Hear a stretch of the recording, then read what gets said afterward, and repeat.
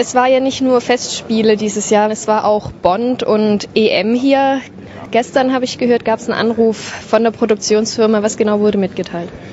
Ja, es wurde uns mitgeteilt, dass die Prägenssequenzen ein absolutes Highlight ähm, des Bond-Films sind. Die Bilder sind berauschend schön, hat es geheißen. Und wir werden äh, sieben Minuten elf Sekunden nach dem jetzigen Schnitt, wenn nicht da noch jemand herumarbeitet am Film, äh, vom Bregenz haben, von der Tosca, vom Festspielhaus, vom Bregenz selbst. Gibt es da schon weitere Planungen, was in Bregenz passieren wird, wenn Premiere ist von einem Bond-Film?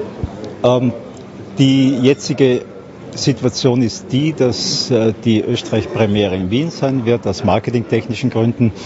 Und es wird wohl auch hier in Vorarlberg in einem äh, für solche Filme ausgerüsteten Kino sein, weil wir im Festspielhaus natürlich nicht diese Einrichtungen haben, selbstverständlich, die ein Cineplex oder ein anderes Kino hat. Äh, und so wird es wohl sein, dass die Vorarlberg-Premiere auch in einem ordentlichen Kino stattfinden wird.